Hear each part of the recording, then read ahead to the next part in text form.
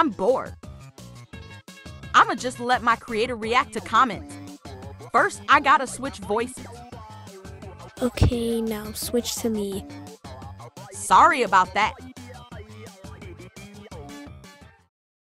Thank you. Now let's see what kind of comments I get.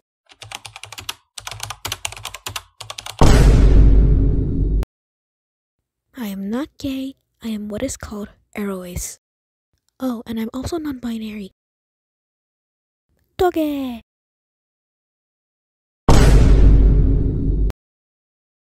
I love that our OCs look alike. What, you thought I was gonna be mean to them just because our OCs look alike?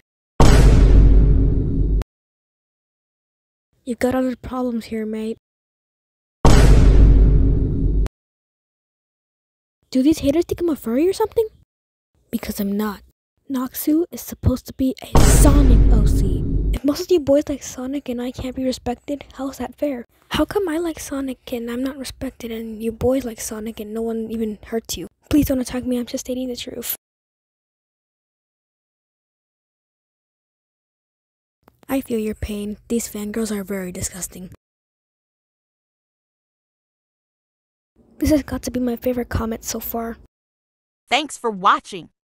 I will now explode.